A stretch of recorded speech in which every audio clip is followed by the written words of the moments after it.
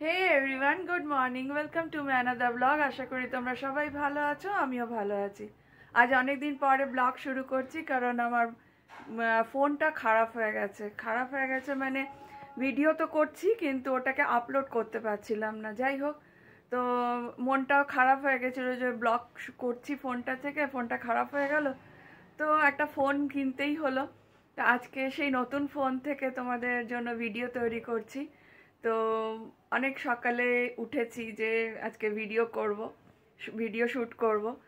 তো আজকে সারা দিনটা শুরু করা যাক তোমাদের সাথেই। ব্রেকফাস্টের জন্য একটু কারি পাতা নিতে এসছি বাগানে। বাগান মানে ওই টবের মধ্যে কারি পাতা গাছ লাগিয়েছি, বেশ ভালোই হয়েছে। তো যেহেতু ফোনটা ডান হাতে ধরা হয়েছে বাঁ হাত দিয়ে কিছু দিয়ে কাঁচি দিয়ে পাতাটা কাটতে পারলাম না, তো শেষ পর্যন্ত হাত দিয়েই ছিটতে হলো। এই কারি পাতার গন্ধটা খুব ফ্রেশ থাকে এবং জাতেই দেওয়া যায় ভালো লাগে। আজকে ব্রেকফাস্টে বানাবো চিড়ের পোলাও, সেজন্য এখানে মাইক্রোওভেনে আলু সেদ্ধ করে রেখেছি। আর ভেজিস যেহেতু নেই আজকে সেজন্য একটু বাদাম টাদাম দিয়ে করব। আর এখানে নিয়ে আসলাম গাছের কারি পাতা ফ্রেশ কারি পাতা। এর টেস্ট অন্যরকম। ব্রেকফাস্টটা তৈরি করে নিই। ব্রেকফাস্ট রেডি হয়ে গেছে, এবার সার্ভ করে দিই। আর আজকে একটা ডাল বানাবো, ছোলার ডাল। এর জন্য এখানে ছোলা ভিজ, ছোলার ডাল ভিজিয়ে রেখেছি, পালং শাক দিয়ে বানাবো। যা রেসিপিটা তোমাদের সাথে শেয়ার করব। এটা নারকলের মালাটা কুড়িয়ে না, ইয়েতে চিড়ের পোলাওতে দিলাম। আর এখানে এখানে রাখা রয়েছে আমার মেহেন্দি। আজকে একটু মাথায় মেহেন্দি দেব। এয়ার টাইট কন্টেনারে রাখতে হয়, তা আমি এটাকেই বেস্ট আমার মনে হয়। তাই রেখেছিলাম। ব্রেকফাস্ট করে নিই এই সেই পালং শাক, এটার বাঁধনটা খুলে আমি রাতে এটাকে এখানে বিছিয়ে রেখেছিলাম যাতে পচে না যায়। এবার ব্রেকফাস্ট করে এটাকে বেছে নেব। এটা দিয়ে আজকে ডাল বানাবো একটা।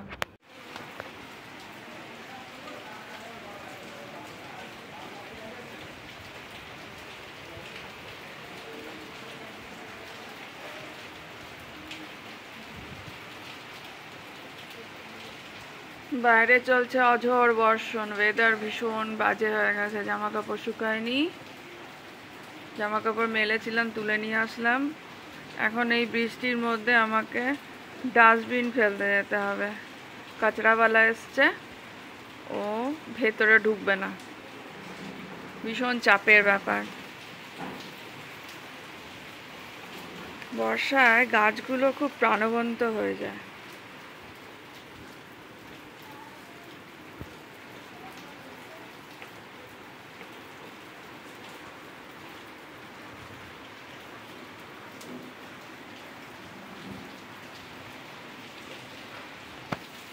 ব্রেকফাস্ট করে চলে এসেছি পালং শাকগুলোকে বাছার জন্য। পালং শাকগুলোতে এত মাটি লেগে আছে না যে আমি কাটলা, কাটতে পারলাম না। জাস্ট গোড়াগুলো আলাদা করে জলের মধ্যে ভালো করে ধুয়ে, ধোয়ার জন্য জলে দিলাম। যে কিছুক্ষণ ভিজুক, ভিজলে মাটিটা খুলে যাবে। তারপরে এটাকে কেটে কেটে নিলাম। কুচি বেশি কুচি করব না, রাফলি একটা চপ করলাম।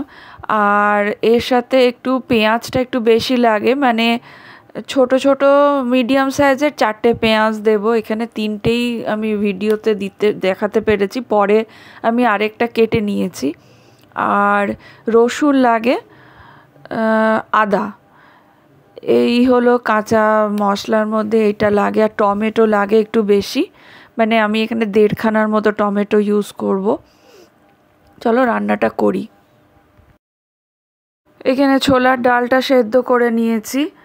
এরপরে কড়াইতে তেল দিয়ে ওর মধ্যে যে জিরেটা আমি ভুল করে আগেই দিয়ে ফেলেছি যে, আর এর মধ্যে আমি অ্যাড করব টোফু টোফুটা অনেক দিন ধরে পড়ে আছে, তাই ভাবলাম আমি ডালের মধ্যে দিয়ে ইউজ করে ফেলি।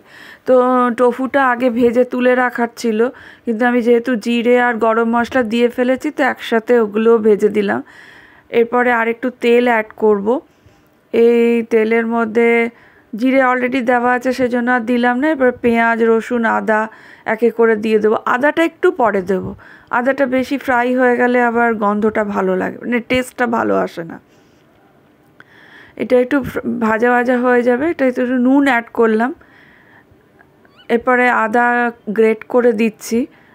আর কাঁচা লঙ্কা, যে যেরকম ঝাল পছন্দ করে, তা আমি একটু কাঁচা লঙ্কা কেটে দিলাম।